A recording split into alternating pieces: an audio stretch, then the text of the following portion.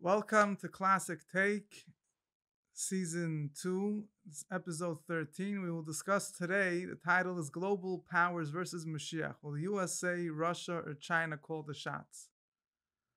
We're talking about Mashiach entering the world stage when there's many players on the geopolitical system out there, and sometimes a little hard to understand how Mashiach will find his way and rise to the top of this whole system. So, how will Mashiach deal with all the other superpowers out there? Will he negotiate with them? Will he negotiate with Hamas?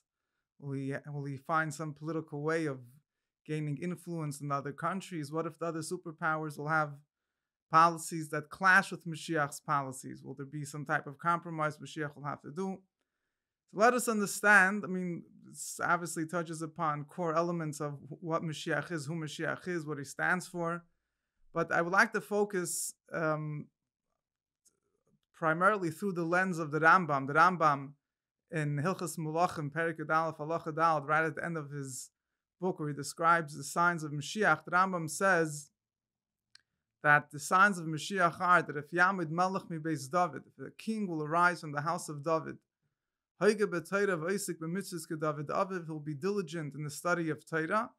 The word Hoiga doesn't just mean that he will be diligent and learn Torah constantly, but also means that he'll delve deeply into the meaning of Torah and he'll involve himself in mitzvahs like David, his father. We know that David HaMelech, the first Jewish king, besides being a great warrior in battles and uh, somebody that uh, won many battles and was fearless in, in overcoming the enemies of the Jewish people. But David HaMelech, first and foremost, was a Torah scholar. He was in the Sanhedrin. He was actually he was the chief of the Jewish High Court, the chief of the Sanhedrin, and he would delve into Torah topics. He would give halachic rulings. Even when he was a king, he would learn and teach and be involved in Torah discussion. This was his primary uh, occupation was learning Torah, and um, he had to deal with the country, obviously. But actually, says that David Hamelech would, at one point, he stopped going out to war. He would stay at home. He would learn Torah, and he would send his generals out to war and in the merit of his learning Torah, the merit of David HaMelech learning Torah, so Yoav, his general, will be successful at battle. And Rambam, so if we look at David HaMelech, and particularly through the verses that describe David HaMelech's intense devotion to Hashem, his great joy at being able to fulfill the commandments of Hashem, his great diligence in, in, in, in fulfilling the mitzvahs, as it's evident from the verses in Tehillim. So Mashiach will be a mirror reflection of David Hamelech. That's why the Rambam describes David, uh, uh, that's why the Rambam describes Mashiach as somebody that is diligent and tight and involved in mitzvahs like David his father. The term David David like David his father is a term that's found in scriptures when we describe righteous kings who descended from King David. So if we want to highlight that they were righteous, that they kept the Torah mitzvahs, we use the term David Aviv, that they were righteous like David his father. But as a whole, the term Kedavid David, like David his father, represents a very high measure of righteousness, of dedication to Torah mitzvahs. So the Rambam says the Mashiach will be diligent in Torah mitzvahs like David his father, like the written Torah and the oral tradition. Mashiach is not going to negate or break the oral tradition. He'll respect all the laws of the Torah. Yaakov Kol Yisrael Bitka. He'll compel all the Jewish people to go in the ways of Torah and he'll fix any breach that is found in the observance of Torah. Hashem, who waged the wars of Hashem. So then it is a Shu Mashiach. Then we could presume that he is Mashiach. If he's successful, Mosav Yitzliach, he was successful in all the above, and in his wars, and he was he overcame Kala Umish Sviv of all the nations around him, and he built a Beis Hamikdash and he gathered the dispersed of Israel. Sareza Mashiach Bavadi, then he's definitely Mashiach. Then we know for a fact he's Mashiach. So the Rambam describes the Rambam in very few words. The Rambam doesn't give so many details of how Mashiach will arrive on the scene, what will happen before his arrival, if there'll be any great world events that will take place. The Rambam alludes to it very briefly in his next chapter, in chapter 12, the uh, last chapter of his book, where the Rambam says that there are various descriptions amongst our that our sages give for the different world events that will happen when Mashiach comes. And there's many prophecies about it. There's the war of Gog and Magog, the arrival of Eliyahu Navi. But the Rambam says he's not getting into it because all these details are there's different ways how Mashiach could come. There's no exact, nothing is engraved in stone. This is not There's no, the Rambam says he doesn't want people to spend too much time delving into exact details of what, when, and how. It's irrelevant. The main thing is to believe in the coming of Mashiach and the essence of the matter, as he explained in chapter 11, where he describes what the role of Mashiach is. Will be a king, will compel all the Jewish people to fulfill Torah mitzvahs, and he will bring the completion of Torah mitzvahs by building the Bay, overcoming the nations around Israel, which means he'll establish true Jewish independence. The kingdom of, when we talk about the return of the kingdom of David HaMelech, we're not just we're talking about a descendant of King David, but as we've discussed in the past, we're talking about creating true Jewish independence. Only a descendant of David HaMelech has the power to create true Jewish independence, and he will build the Beis HaMikdash and he will return all the Jewish people that were exiled, and thereby he will establish a full return of Torah mitzvahs, because when there's Jewish independence, there's no there's nobody nobody stopping the Jewish people from being able to learn Torah and do mitzvahs in peace. And we have a Beis Hamikdash to bring the sacrifices, and we have all the Jewish people in the land of Israel, which is the main place where we fulfill the mitzvahs, and a number of mitzvahs like Yovel and Shemitah, the Jubilee year, and the sabbatical year depend on all the Jewish people being in the land of Israel. So then, by Mashiach doing all the above, he will have returned the full fledged performance of mitzvahs in the greatest way. So therefore, we know he is Mashiach.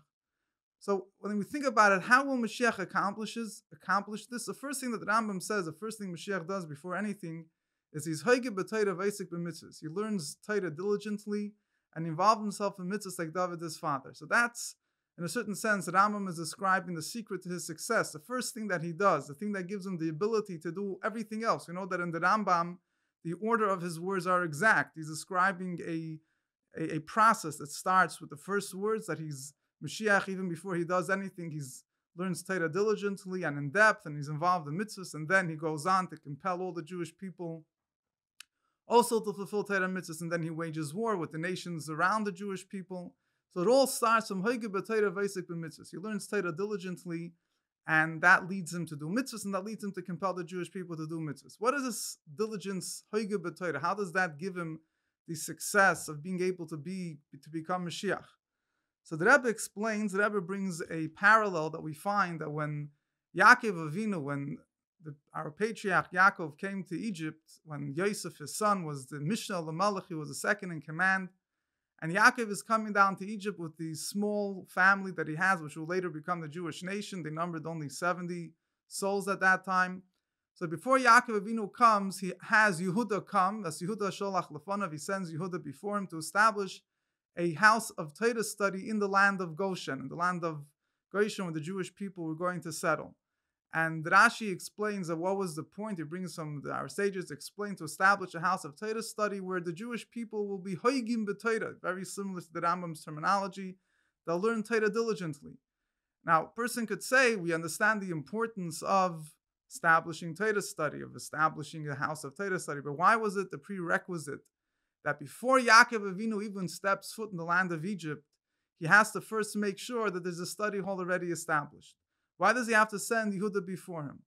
And the message is that in order to be able to enter exile and not to be influenced by exile, it's not enough they have political power. Yaakov, after all, his son Yosef was a second in command over Egypt, and in those days Egypt was a superpower. So Yosef really was commander of the whole world. But Yaakov Avinu knew that eventually the Jewish people will end up in exile. So the, the, the stay in Egypt is not going to be very rosy and nice experience. They're going to go into exile. And he has to first lay the foundation for the Jewish people to give them the ability not to be affected by exile, to remain inwardly free. How is that? There's only one recipe. The recipe is through learning Torah and learning Torah diligently, where a person's mind becomes occupied in Torah and thereby, as our sages tell us, that only somebody that involves himself doesn't just say somebody that learns Torah, somebody that involves himself, involves his mind, his heart, he really engages in Torah study. Such a person that's mm, his mind and his way of thinking is completely directed and permeated with Torah, such a person is truly free. Because such a person is not affected by what this person says, what the other person says, or what his neighbors say, what his family says or even with what the world powers say. He's just concerned with what Hashem says, and he's com- by being completely connected to Hashem through learning Torah, which Torah preceded the world, as our sages tell us. that the Torah preceded creation. The world was created for Torah, not that the Torah came for the world. That after the world was created, the Torah was given in order to teach us how to conduct the world. But in essence, Torah preceded the world. The world is there. The, the Torah was the blueprint of creation of the world. So the world is really there in order to bring about into fruition the objectives and goals of Torah.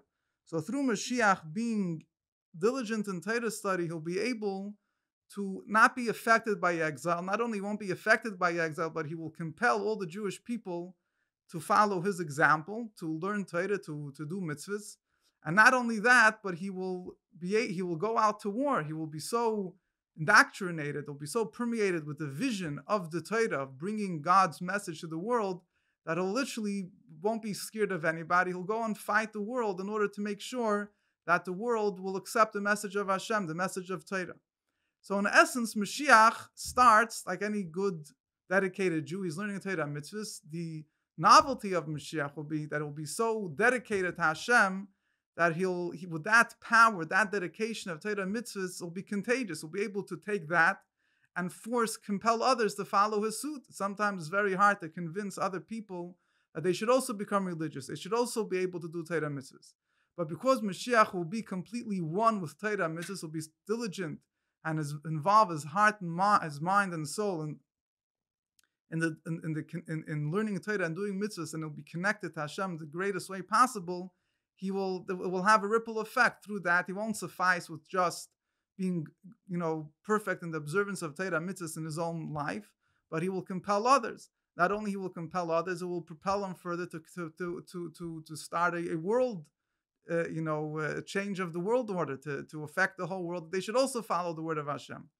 And it all emanates, it all starts with Mashiach's complete dedication to Hashem and only Hashem, only the word of God, only what Torah says.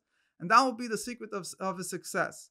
So when the world will try to challenge Mashiach, and as there's different descriptions and different sources of the world will challenge Mashiach or they won't challenge Mashiach, it depends if the world will be completely refined or not which is a little bit of a separate discussion. But if the world will try to challenge Mashiach, Mashiach won't be fazed.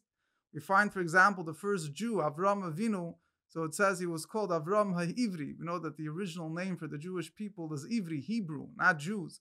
Why was he called Ivri? Because it says that the whole world was on one side, he was on the other side. The whole world didn't believe in, they believed in idol worship, whatever it was. And Avram Avinu was the only one at that time who was unfazed. He had a few other people you had some righteous people, you had Shem, Ever, you had some people that stayed in their own tent and they if somebody wanted to come to them, they would teach them about Hashem. But they didn't try to challenge the world. Avram Avinu was the first one that went and spread the word. And the whole world was laughing at him. They were against him. They say this guy is a heretic, this guy is a fanatic. But eventually he was the one that brought the, that brought about the birth of the Jewish people, which brought the Torah and the light of godliness of truth to the world at large. So this will be the uh, the success of Mashiach. Mashiach will be be his dedication to the word of Hashem, which will give him the ability, first of all, to become who he is, and his ability to affect everybody else in the, amongst the Jewish people, and furthermore to affect the world at large. And because Mashiach will be totally dedicated to Hashem, there won't be an ounce of his own ego, of his own agenda, of his own political aspirations or goals involved. It'll be completely just to fulfill the word of Hashem. Therefore, he'll be promised success. Therefore, he will be successful in his campaigns, will be successful in his wars, and he will bring about the kingdom of Hashem to be established on this earth. The um,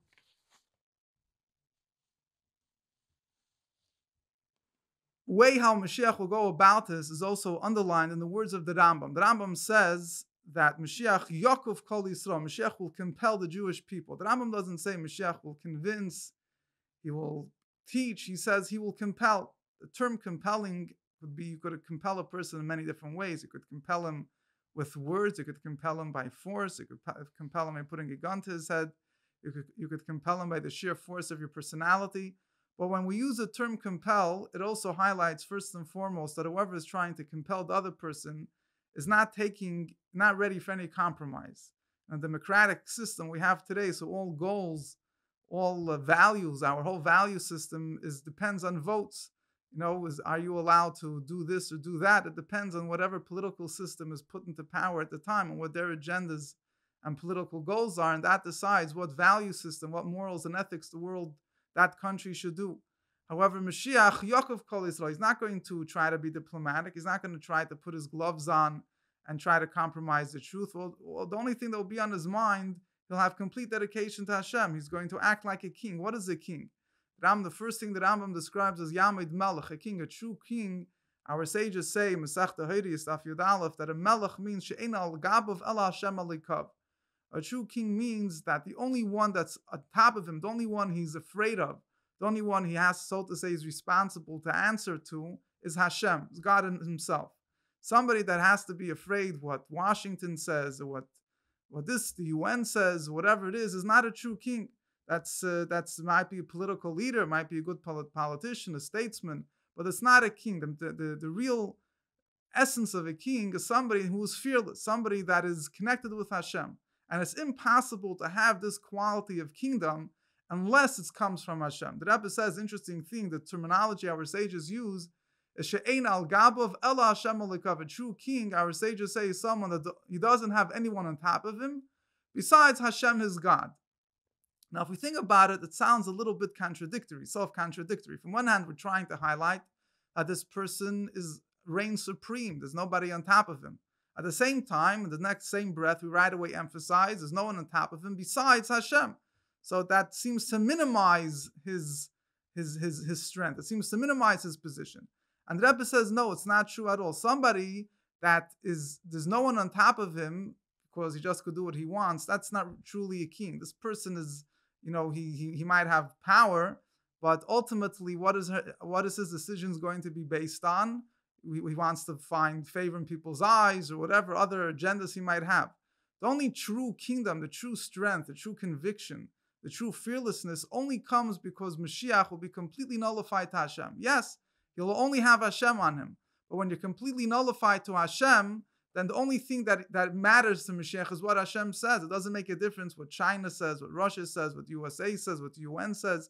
He'll only be responsible to Hashem himself. And with that power, he will be fearless. And with that power, he'll be successful, he'll be able to overcome everybody else.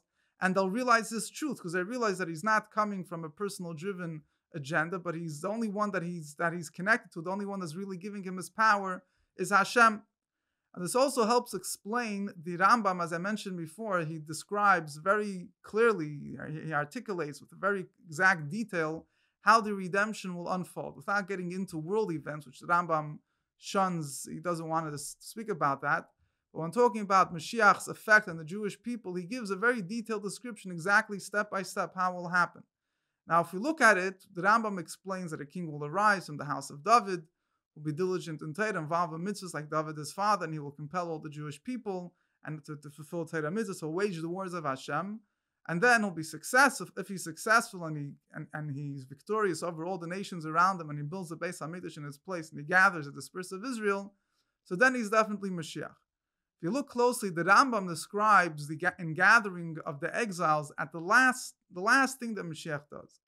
Now, most people they think they, they they're under the assumption that it's really the other way around. The first thing that redemption starts off with, right after all, when we use the term exile, exile usually means the most literal sense of the term that we're exiled from the land of Israel. So most people's minds they associate that the beginning of the redemption unfolds how by Jewish people returning to the land of Israel.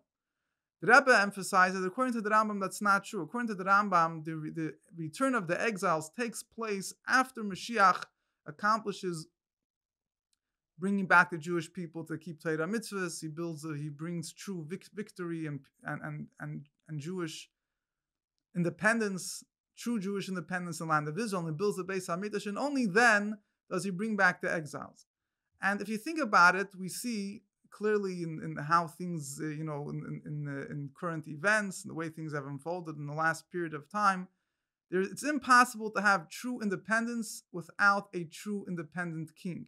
Independence is not just a technicality that pe- Jewish people have their own country and they could and they could elect their own leaders, because ultimately they're still completely dependent on what the UN says, on what uh, Washington says, and what other people say. The only way we have true independence inwardly, not just technically, we person could live in the stretch of land and land of Israel, but have true independence, which means that a person is fearless, a person is only responsible to the truth and doesn't care about any, what anyone says, is only the only recipe for that is Mashiach, somebody that his dedication, his value system is based on one thing, and what the Torah says, what Hashem says, that's the only thing he's responsible for. It doesn't make a difference to him what the whole world says, because he knows what Torah says, what Hashem says. Such a person is has inwardly independent. Inwardly he's free. Inwardly he doesn't care what the world says.